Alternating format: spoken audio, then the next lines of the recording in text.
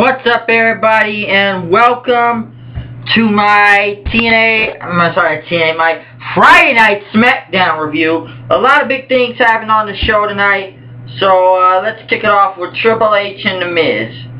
If Triple H and The Miz are out there, Triple H pretty much talked about how what happened last Monday with The Miz and the whole handicap match thing, which was a lot that happened.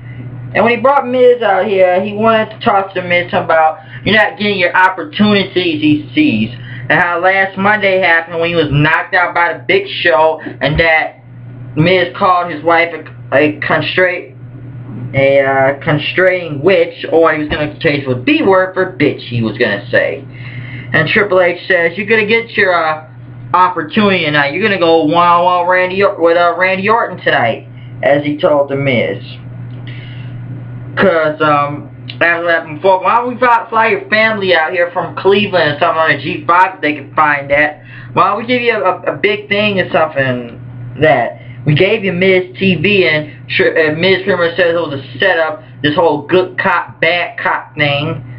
So, and it was all set up just to get the Miz knocked out.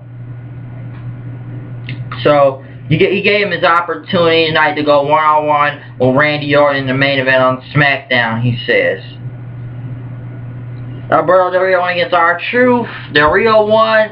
Then Van Dam came out, pretty much beating the hell out of Del Rio, took a chair and just started hitting him with a chair and running and kicking him with the chair into the turnbuckle. And Triple H and Vickie made a match. It's going to be a hardcore match for the World Heavyweight Championship at Battleground. We're going to ECW, people, as Triple H said. We're going to pull some out of ECW handbook, he says. And we're going to have Triple H, go, as I said, Triple H. We're going to have Rob Van Dam going against Alberto Del Rio and as I said before, a battleground hardcore. Oh, we're going to stick with a hardcore match. Yeah, let's even call it Extreme Rules if you want to say that. But it's a hardcore match at Battlegrounds for the World Heavyweight Championship. So let's watch out for that when that comes.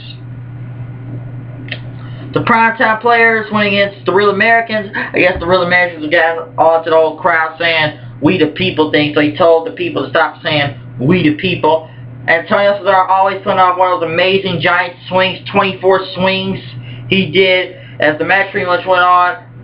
Uh, Jack Swagger hit the ankle lock on Darren Young, winning the match as the Real Americans beat the Primetime Players tonight, which was a really great match, really good tag team match tonight from uh, the Primetime Players and the Real Americans.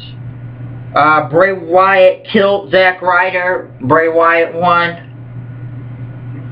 Uh, Dolph Ziggler went against Dean Ambrose for the U.S. title pretty much ending disqualification. The Shield were already out there, and Dolph Ziggler brought out Kofi Kingston and Rob Van Dam out there with him.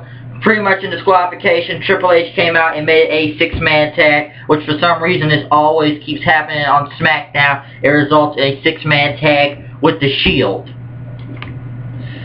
The Shield pretty much went against RVD, Kofi, and Dolph Ziggler, which was a really, really great match.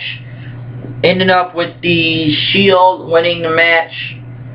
Ambrose getting the pin off over Kofi after Seth Rollins hit that knee on Kofi Kingston. So pretty much the Shield picking up another win. Very great six-man tag match like usual from the Shield.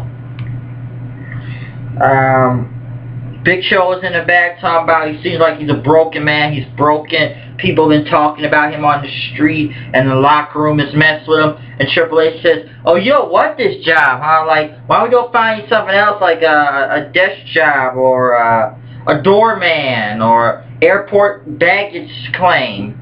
And so they don't have a lot of jobs for you like that. And you need this job.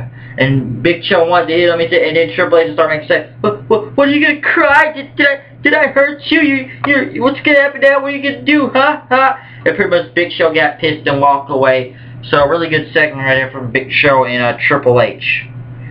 AJ it's Cameron, AJ and uh, well Tamina now. Tamina's like the new personal security, like bodyguard now for something to help AJ. I don't have no Biggie Langston, but uh pretty much AJ beat Cameron, nothing new there. AJ says he's gonna destroy all the Total Divas anyway. Paul Heyman came out and cut a promo about Night of Champions and what happened last Monday on Raw. about CM Punk got the crap beaten out of him in his hometown of Chicago, Illinois, and everything, and pretty much Triple H, not Triple H, just don't like keep saying it.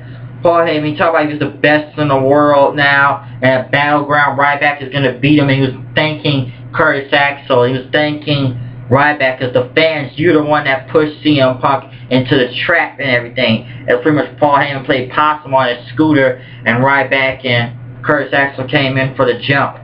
And at Battleground, CM Punk's just going to be looking up and knowing that Paul Heyman is the best in the world when Ryback beats CM Punk at Battlegrounds, as Paul Heyman says. So really great promo from um, Paul Heyman. Heath Slater went against Santino, which was a very retarded match, as for some reason Great Khali and Hornswoggle that it was a flute battle where they're like do do do do do do do do do do with a flute between Jinder Mahal and Khali, which was incredibly stupid trying to control the Cobra. Santino won. Fuck this match. Nobody cared. It made no type of sense. I don't know who came up with that in the back, but it was very retarded. Randy Orton then went against The Miz.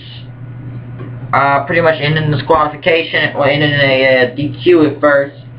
Miz hurting himself doing that running clothesline he does on the turnbuckle pretty much Orton kept beating the crap out of him, and then Triple H says, Orton, I know what you're trying to do, but Miz is going to get his opportunity, and it's going to be a no DQ match. Then the match restarted. Orton kept going back on Miz. Miz got a chair and started beating Orton with it, but Orton got the best of him and started beating the crap out of him then with a chair, throwing him across the turnbuckles, throwing him across the barricades and over the announce table, ending it with an RKO, then nearly destroying the Miz right there tonight.